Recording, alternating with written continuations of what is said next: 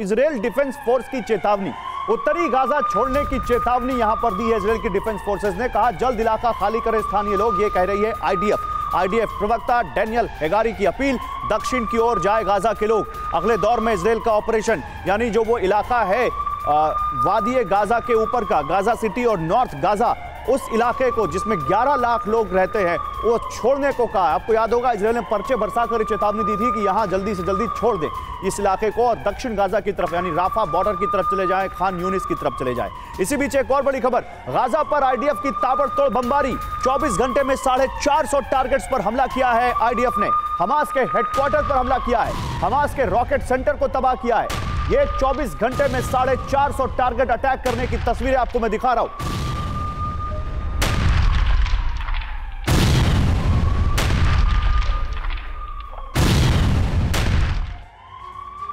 और हमास के meeting points पर हमला। इसराइली हेलीकॉप्टर ने दागा रॉकेट हमास की एंटी टैंक मिसाइलें तबाह कर दी हैं।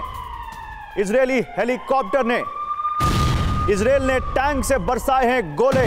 तो हेलीकॉप्टर टैंक फाइटर जेट समंदर से शिप के ज़रिए चारों तरफ़ से इसराइल ने तबाही मचा के रख दी है। एकदम बारूद का बारूद बरसा के रख दिया। बारूद की बारिश कर दी है। और गाजा में बताया जा रहा है कि जिधर देखें आप जिधर कैमरा मोड़ लीजिए, आपको केवल और केवल तबाही के निशान मिलेंगे। देखिए एक और बड़ी खबर आ रही है। गाजा में भेजे गए हैं और इजरायली सैनिक। ऑपरेशन के लिए गाजा में ही रहेगी सेना। रात में भी इजरायली सेना वहाँ मौजूद रहेगी।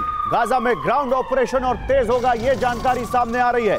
ऑपरेशन के लिए गाजा में ही रहेगी सेना। वहाँ ग्राउंड ऑपरेशन और तेज होगा।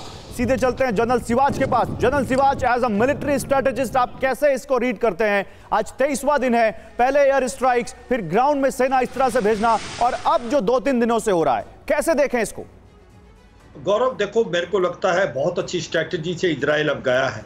जो इसने ग्राउंड अटैक किया है, इससे पहले इसने सॉफ्टनिंग अप की है, उससे हवाई जहाजों से रॉकेट से मिजाइल से फायर करके बर्बाद किया है इसका इंफ्रास्ट्रक्चर को और ये जो बंकर बस्टर मिले हैं इनको हम्म। अमेरिका से हम्म। जो टनल डिफेंस जिसको सोचते थे कि वो अनप्रिंटेबल है हम्म। उसके अंदर जो अभी फट के ये सारे का सारा इनका इंफ्रास्ट्रक्चर खत्म हो गया इनका लॉजिस्टिक बिल्ड में भी बहुत नुकसान हुआ अब मुझे लगता है ये जो ऑपरेशन नब है ये तीनों तरफ़ से जा रहा है एयर से भी जा रहा है नेवी से और बाई ग्राउंड जा रहा है अब ये सोच रहे हैं कि इसराइल कि किस तरीके से आगे बढ़ा जाए और जो टनल डिफेंस के अंदर हैं उनके अंदर उनको बाहर निकाला जाए उनको भी खत्म किया जाए और कोलेट्रल डैमेज कम से कम किया जाए और जितनी जल्दी हो ये ऑपरेशन खत्म हो क्योंकि अमेरिका ने एक प्रकार से वार्निंग दी है इसराइल को कि अगर ये लड़ाई लंबी खिंचती है तो it is disadvantage to Israel क्योंकि एक सिंपति चली जाएगी हमास की तरफ़ नहीं लेकिन हमास की तरफ़ तो सिंपैथी ऑलरेडी पूरी दुनिया में दिख रही है जनरल सिवाज।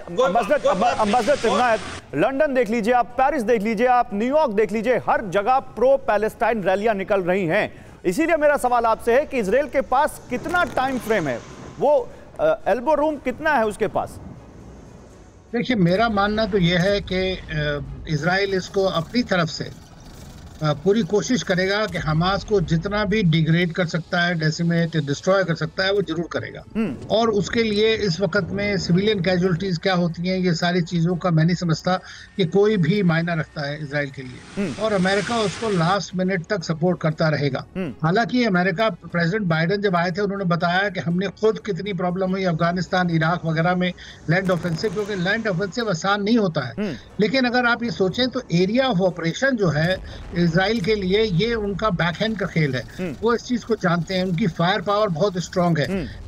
तो इस वक्त में जो इंटरनेशनल जो सिंपथी है वो पैलेस्टीनियंस के लिए बहुत ज़्यादा बढ़ चुकी है हम्म। तो वही एक डिस्ट्रैक्शन है जो हो सकता है लेकिन इसराइल चूँकि इसको अपना एक एग्जिस्टेंशियल और प्रेस्टीज का पॉइंट मान रहा है हम्म। तो वो नेचुरली है कि इस बात को पूरी दूर तक खत्म करेगा और उसमें टेररिज्म का जहाँ एंगल आ जाता है हम्म। तो उसमें जो है दुनिया के लोग भी काफ़ी उसमें शायद इसराइल के लिए सबसे बड़ा जो यहाँ पर प्लस पॉइंट है प्लस पॉइंट कहें या इसराइल के पास सबसे बड़ा रीजन है, वो सात अक्टूबर का वो हमला जो हमास ने इसराइल पर किया।